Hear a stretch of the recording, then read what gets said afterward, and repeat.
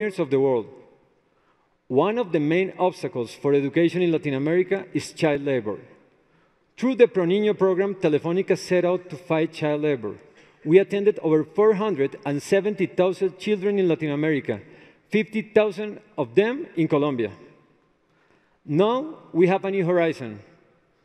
Telefónica is committed to help youth to perfect STEM skills and to provide digital education to prepare them for the professional challenges of tomorrow.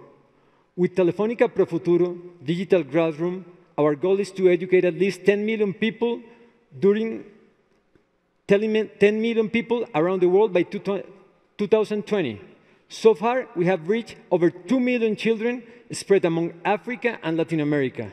In 2017, in, in 2017 only, we will have an impact in more than 500,000 people in Colombia. But we don't stop there. You will find a helping hand at Telefonica to make your ventures come alive. We support social entrepreneurship. In 2016, we supported around 1,500 projects and more than 3,000 and 360,000 people globally.